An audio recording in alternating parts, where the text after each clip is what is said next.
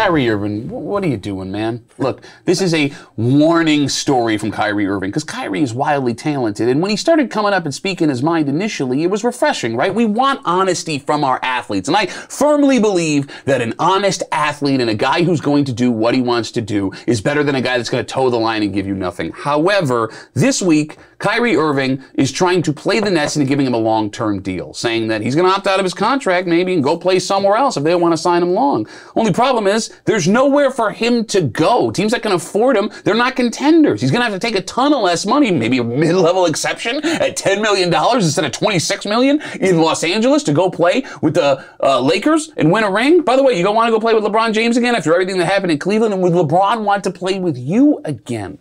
This Nets experiment has been a disaster. By the way, smart bearded man said this when it happened initially, but nobody's counting that.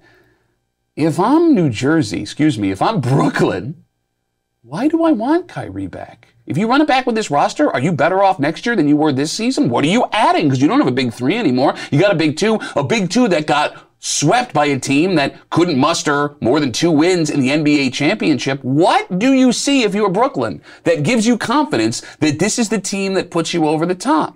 Maybe it's time to rebuild. Go former Celtics big three, Deron Williams, get him the heck out of there. This time you got draft picks, at least more than you had.